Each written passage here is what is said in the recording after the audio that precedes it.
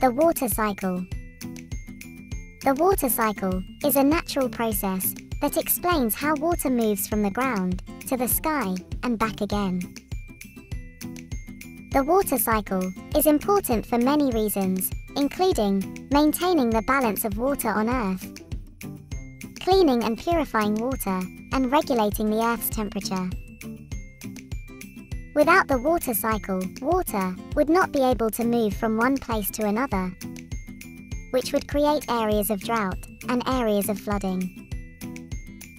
Understanding the water cycle is important for conserving and protecting our water resources and for ensuring the health and well-being of all living things on Earth. It is a continuous process that happens in four main stages. Let's learn about these different stages. Stage 1 Evaporation. The first stage of the water cycle is evaporation. This is when water from oceans, lakes, and rivers is heated by the sun and turns into water vapor, which is a gas. The water vapor rises into the atmosphere Stage 2 Condensation. The second stage of the water cycle is condensation. This is when water vapor in the atmosphere cools down and turns back into liquid water. This process forms clouds in the sky. Stage 3 Precipitation.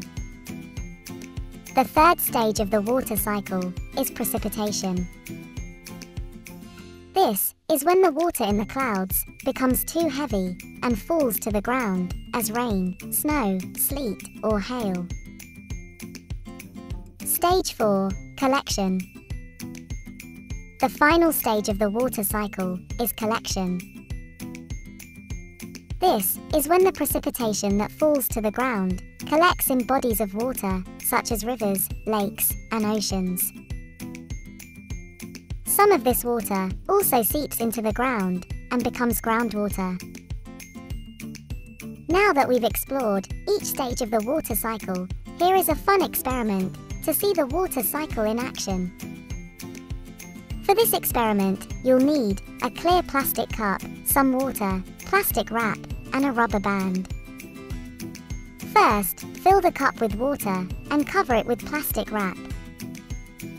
Use the rubber band to secure the plastic wrap around the rim of the cup. Next, place the cup in direct sunlight for a few hours. As the water in the cup heats up, it will turn into water vapor and rise up to the plastic wrap. As the water vapor cools down, it will condense into droplets and collect on the underside of the plastic wrap. This is just like the process of evaporation and condensation in the water cycle. The water cycle is a natural process that helps water move from the ground to the sky and back again. It's important to understand the water cycle because it helps us to conserve and protect our water resources. We hope you enjoyed learning about the water cycle today. See you next time. Goodbye.